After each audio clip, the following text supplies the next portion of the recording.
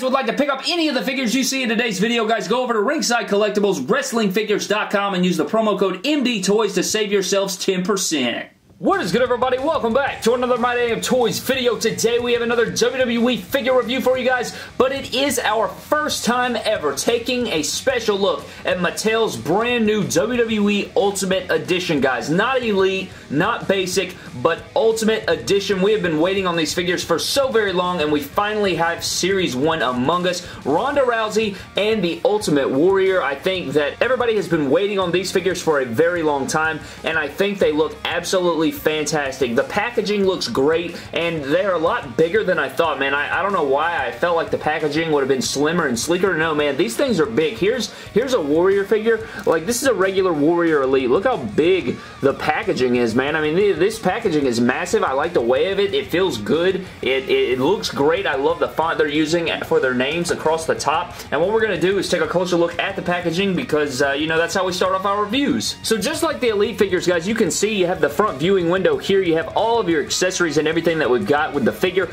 On the top, you can see their names, Ultimate Warrior, Ronda Rousey. Very nice modern font going on. You got Ultimate Edition at the bottom. If we spin them to the right, you will see a picture of Warrior here. He looks freaking crazy like the, look, look at this. What the hell was that? Spinning them across into the back, guys, you have a great shot of both figures at the top left. You have all this info. If you would like to read either of these read-ups at the bottom, you can go ahead and pause it now. Like I said, you get all the info on the left. You get a picture of them on the right. Spinning them back around, you have the names on the sides just like you saw at the top of the packaging. And that is pretty much it for your Ultimate Edition WWE figures. It's going to be weird not saying Elite, but these are Ultimate, man. I'm so excited, guys. Let's go ahead and crack them open and take a first look at the first ever WWE Ultimate Edition action figures. What the hell was that? So here are the brand new WWE Ultimate Edition Ronda Rousey and Ultimate Warrior out of their packaging, guys. And I have them in these poses because I want you to understand how well the arms are articulated. These figures are double jointed like Hasbro's Marvel Legends, like other figures like that. You know, they can actually bend their elbows past the 90 degrees, like way past 90 degrees. You know, a lot of trouble with the women's basic figures and a lot of Mattel WWE Elite figures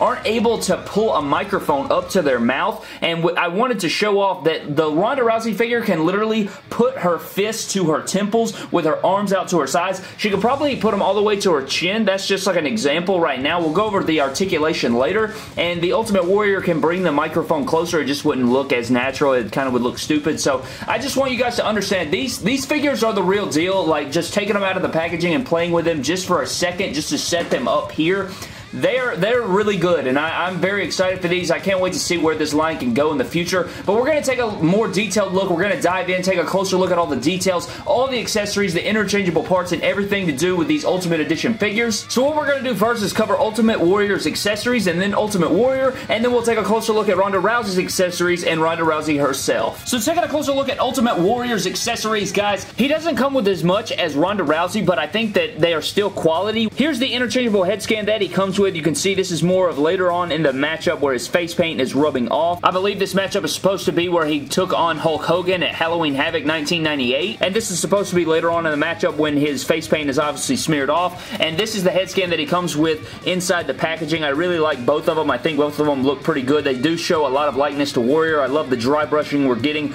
on the hair scan there. And um, this is just how easy it is to pop the head scans on and off. You just pop off there, take your other head scan and reattach it just like with Nia Jax, just like with Andre the Giant, and boom, there you go. So that is how easy it is to, you know, switch out those head scans. It's not a big deal at all. Same thing with the interchangeable hands, guys. We've seen this multiple times. He comes with a pair of interchangeable fists, and we've seen these with multiple figures before in the Elite line. And then we have the entrance hands, or the, the I call them the throne sitting hands, because, you know, if you were sitting on a throne, Thanos style, you'd have, you know, just gripping the sides of the chair would be like that. You get three pair of interchangeable hands if you count the ones that come on them in the packaging. You get two head scans, the battle damaged or the worn, and then the full face paint for the entrance. And then probably one of the biggest selling points for the figure is the Halloween Havoc Ultimate Warrior entrance robe here with all of this detail. I believe it is supposed to be airbrushed, much like all of Ultimate Warrior's gear. I'm pretty sure all of his gear and everything he ever wore in his career was airbrushed and custom made here. You got all this detail going down. You have NWO, you have Ultimate Warrior logos, you got the Grim Reaper, you got Here Lies NWO You have like uh, this graveyard scene. Very, very nice. Very high quality. It feels great in the hand. It looked great on the figure as you guys saw before.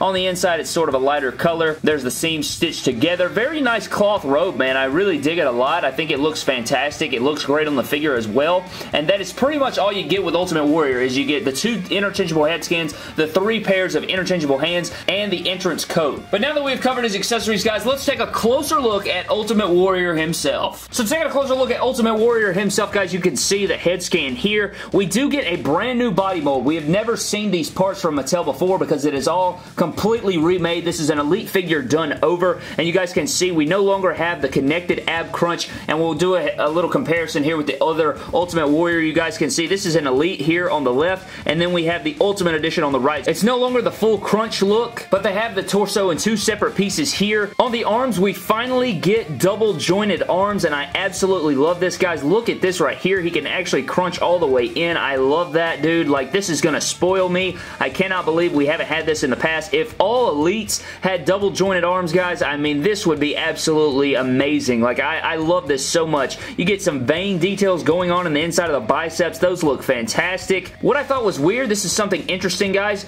You can actually pose around the armband here. Like, this is actually posable. Like, if he's running, you can make the tassels look like they're running because you can actually pop these out of the armband.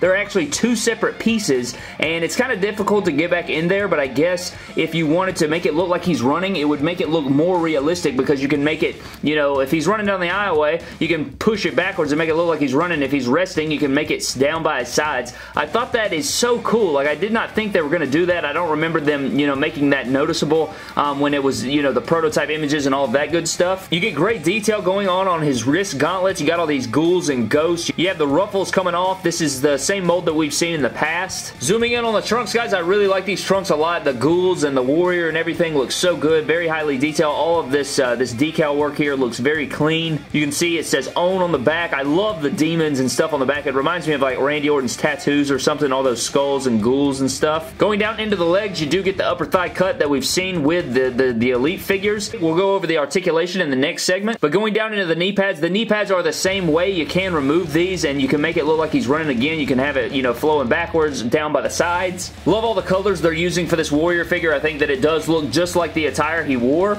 And then down at the feet, guys, you will see that we get the white tassels and the boots, and this is a first. We have never seen toe crunch before. I found that the Ronda Rousey figure's toe crunch works, works a lot better. I need like some pliers or something to get this one. I don't know why mine's so stuck right here, but this one is a lot better. You guys can see there. Boot color looks great. Just overall really quality figure, man. It just feels like a great figure. I think, do these retail for 30 I can't remember what they retail for, but these, these I think these are going to sell really well. I, I, think they will do great. I don't know what the hell's going on right here. What, what is that? Anyways, guys, that pretty much does it for the details of the figure. Now let's go over his articulation. So for Warrior's articulation, guys, you will see in the head, we don't get much changes as far as articulation. You get a little bit of head wobbling. He can turn all the way 360. He can look down a little bit, not so much up.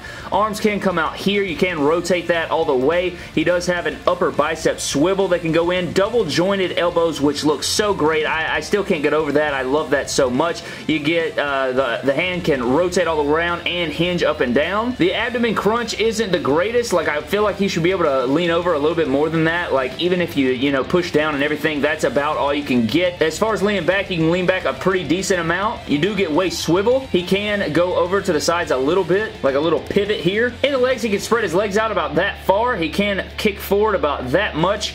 Back, not so much because of the butt cheek flap. You get upper thigh cut, double jointed knees where he can bend his knee like a ridiculous amount. I really enjoy that a lot. Kicking forward, I wish that he could like bring his knee up more. I hate that, you know, you can't do like a jumping knee as good. Like I wish that he could crunch forward more, you know, get that get that ab crunch. You can bring that knee closer for, you know, like knee shots if I wanted to do that. You do get boot rotation. You get ankle moving down. Ankles do move up. You get the toe bend there, and he does not have ankle pivot. Overall, loving this Ultimate Warrior, man, and I'm not even a big Warrior fan. I've never been a big Warrior fan. I felt like he was always overrated. I know that he has a lot of charisma and a lot of star power, but I've never been a real fan, but this figure makes me like him, man. I, I really do enjoy this. Now that we've covered the figure and the articulation, guys, let's take a closer look at some Ultimate Warrior figure comparisons. So here's the brand new Ultimate Edition Ultimate Warrior in the middle with the Target exclusive Hall of Fame Ultimate Warrior on the left and the Elite 26 Ultimate Warrior on the right in the singlet. And you guys can just see they do scale very well. They're the same exact height. You know, Mattel didn't make them slightly larger, which you would probably, you know, uh, struggle with. You would think that maybe the, the Ultimate Edition would be a slightly larger piece, but it is not. I think they did a really good job transitioning from Elite into Ultimate, and they blend in well. I mean, besides like the new torso, I still think that it blends in well, and I think I like this look of the torso better. I think it looks okay.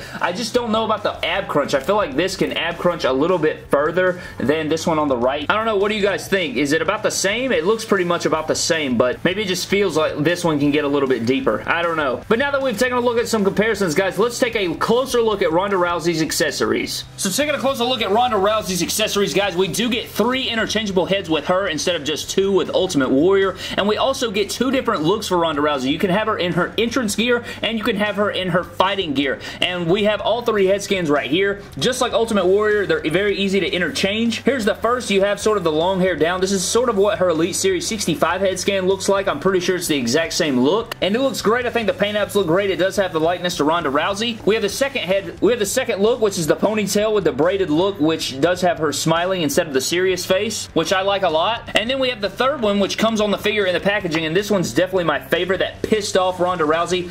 I freaking love this, man. This is easily my favorite women's figure we've ever gotten. I think it's just so nice. I love the way it feels in the hand. It looks great. It looks just like Ronda Rousey, and I remember when Ronda Rousey guys first showed up in WWE, I was not a fan. I was like, dude, this this is like, what what is this? I, I don't like celebrities in my wrestling. I know she was an athlete. I know she's a high performer and everything, but I don't like when people come in and sort of like bring this notoriety to it and people start talking about it and like, oh, it's fake and all this bullcrap. So I, I really wasn't a fan when she came in, but with her first match, man, she turned she turned me into a believer, man. I, I was so excited for her run after that, and she became my favorite woman in the company. Next to Becky Lynch, guys, she was she was literally my number one, and I miss her already, to be honest with you, but with Ronda Rousey, guys, you do get a pair of interchangeable hands. Not three pairs of interchangeable hands, but two. You get the mic holding hand or the open hands, and then you get the fist that she comes with inside the packaging. But here's where it gets interesting, guys. You have the entrance jacket arms, so we have two pairs of interchangeable arms that are completely articulated. They are double jointed. You do get the bicep cut. You get the full rotation and everything. We're going to switch these out so you guys will see if you own the figure or you're purchasing the figure, you will see how to do that. We also have the piece that you would put over her sleeves, but I guess the first thing we need to do is go ahead and take this portion of her arm out, and it pops out just like that. Then you will take your, uh, your other side, and you'll have to pop this side out just like you did that left side. Just give it a little twist and a pop, and it will come right off. Come over to the right side. Actually, no, you want to take your jacket now and plug this in. Put that over the torso, just like so. And then you'll come back with your arms here and just plug them in. Boom, like that. Go to the other side, you'll do the same exact thing. Boom like that. And now you have an entrance coat version of Ronda Rousey. And for this, guys, all you have to do is take her, uh, her open hands here and you can just plug it in just like you do for the Elite figures. You know, we get the interchangeable hands. You just have to plug them into the holes inside the figure right there. Kind of stiff right there. Jeez, that's hard to push in. But there it goes. You'll hear the little pop noise. Go to the other side and do the same thing. Just like that. And boom, there you go. And now we have to take her little kilt from Rowdy Rowdy, Roddy Piper and I believe you just hook this around her waist maybe. Yeah, I probably should have put this on at the beginning to be honest. Yeah, because I think this is supposed to go around her waist here. But anyways, there you go. That is the look you're going for. The, the entrance version of Ronda Rousey. I like the fighting version better. I mean, I, I don't know if I'll get another Ronda Rousey to, to display with the entrance jacket, but this is the way you do that. If you wanted to interchange that, that is the exact way you do it. And I do like it. I think it looks clean. I do like that you don't lose any articulation. Like, look at this, guys. With that jacket mold, you can still grip her face. That is freaking beautiful. I love that so much, but I think that I like her in the fighting version better. And to uh, go through all the details of the figure, we are going to switch it back. So at the next portion of the video where we cover the figure, she will be back in her fighting gear. So let's go ahead and do that. So taking a closer look at Ronda Rousey, guys, look at this head sculpt. I love it so much. I know we covered it a little bit already, but I love this figure, man. I, this is, again, my favorite women's figure they've ever done. If they did every women's figure like this, which I don't know if they could, I, I don't know if they would sell well enough for them to do this. But if they were to do this to every women's figure, I would have every single women's figure that has ever existed from Mattel. I love this. I think this is fantastic. Um, I love the, the colors we got going on with the Rowdy on there for Ro Rowdy Ronda Rousey. You got the white top, red outline going on. I love that, uh, that again, with the Ultimate Warrior, um, I don't think we've ever gotten ab crunch with women's figures this good. I think this is probably the best ab crunch we've gotten. It's not the greatest, but it's still probably the best we've seen from a women's figure. You do get the, the sculpted pieces on onto the wrist for her little fighting gloves. I wouldn't even call it fighting gloves. It's more like these fighting wristband type deals. You got the regular black shorts. I don't like that they went with the same crotch mold and upper leg mold like this that they use for the women's figures. I feel like that hinders it a little bit, and you guys will see what I'm talking about when we cover the articulation. But these double jointed arms, man, they look great. They feel great. Again, look at that right there, dude. Oh my goodness. That is beautiful. That's what our Pete Dunne figures need to be able to do. I am loving this Ronda Rousey. Posing this thing around is so much fun. Great stomach sculpt there. I love the way the chest sculpt is. I think it looks great with all the details. You can kind of see the, the framework and the, and the muscles that Ronda Rousey's got going on. Going down into the legs, I think this is my favorite part of the figure. I just love the way her legs look. I think that the knees look great. I think you, re you really can't tell how good Ultimate Warrior looks because, you know, he has the knee pads covering, but I love the skin tone and the sculpt they went with with Ronda. I love the boot mold they went with. You do get rotation here. I mean, this figure is just phenomenal, man. And I didn't think that I would be saying this, but I, I like the Ronda better than the Ultimate Warrior. I, I really do. I think it, I think it's so fantastic. I am I am freaking very impressed with these figures thus far. But now that we've went through all the details of the Ronda Rousey, guys, let's go ahead and break down all of her articulation.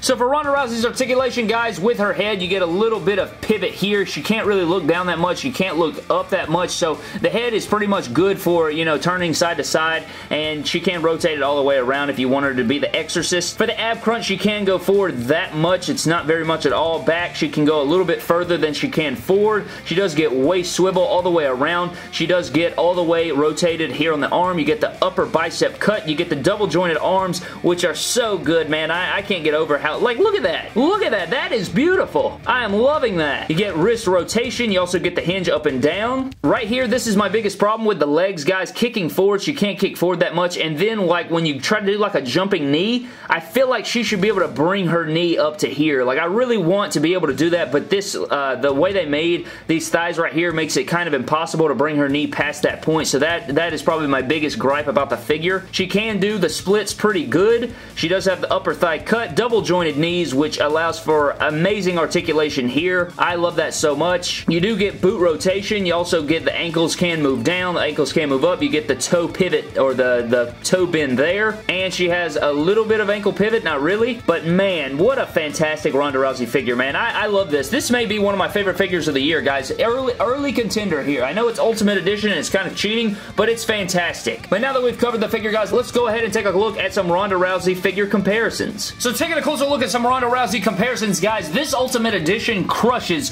her other figures. You have her Elite 65 figure here on the left, which is her first Elite. You have her Basic here on the right, which is her first Mattel figure ever. And then we have her Ultimate figure. So she is uh, the first woman to have a Basic, Elite, and Ultimate Edition figure of herself. So you guys can just see, I mean, the, these figures compared to this one are just on a different level. This one can hardly stand up. This one's in the same boat. Both of them are hard to even stand. And the Ultimate Edition has no problem doing anything. I think that uh, the Ultimate Edition can definitely just whoop these two's ass in a one-on-one -on -one fight. And she's going to be super fun to like pose around with. I encourage any stop motion artist or pic fed or anything, they need to you need to bring Ronda Rousey to your pic fed or your stop motion, man. She she is a beast. But that pretty much does it for your Ronda Rousey figure comparisons. So that pretty much does it for your 2-in-1 WWE Ultimate Edition review on the first ever Ultimate Edition figures, guys. Series 1 Ronda Rousey and Ultimate Warrior. So first of all, are these figures worth it? Absolutely. I absolutely love both of these to, for tremendous reasons. I think that they're absolutely epic. I think they're worth the extra price point. Those double jointed knees and elbows are incredible to pose around. This is the best women's figure that Mattel has ever made, and I think everyone should, if you have not picked up a Ronda Rousey figure, this is the one to get. I recommend this one highly. I think it, everyone, everybody that collects this line should absolutely have that Ronda Rousey in their collection. For Ultimate Warrior, if you don't have an Ultimate Warrior, pick up this one. You get the epic coat, you get the interchangeable heads, you get all the interchangeable hands, and it's the best Warrior they've made to date. So I think it's an absolute must for both of these figures. And if you would like to pick up either of these figures, guys, you can go over to Ringside Collectibles, use the promo code MD Toys to save yourselves 10%, and you can purchase both of these as well as many, many more epic WWE Elites and epic WWE figure accessories, weapons, and all kinds of other jazz over at WrestlingFigures.com. But my overall thoughts on both of the figures are amazing. Again, I think that everyone should should own them. They are Series 1, and I cannot wait to see where the Ultimate Edition series goes. I know in Series 2 we are getting Bret Hart and Shinsuke Nakamura, and while those figures didn't look the greatest when, you know, the prototype images released, I'm excited to get them just to compare them to these and see all the articulation and stuff because I've had so much fun posing all of these around. But that pretty much does it for this 2-in-1 figure review on the Ultimate Edition, guys. I hope I did them justice, and I hope you guys have a better understanding of how they work and how they are compared to Elite figures. So, uh, to be honest, the double jointed elbows sell me on the figures alone, and Ronda Rousey, I believe, is the only women's figure to ever have double jointed knees, making this women's figure very fun to play around with, which is usually not the case at all. But that pretty much does it for today's video, guys. Thank you so very much for watching. I hope you guys did enjoy. What did you think of the review? What do you think of both figures? Are you adding them to your collection? Let me know down in the comment section below. Subscribe to the channel for more epic WWE figure videos. Follow me on Instagram and Twitter at MyDamnToys, and I will see you guys in the next video. Thank you.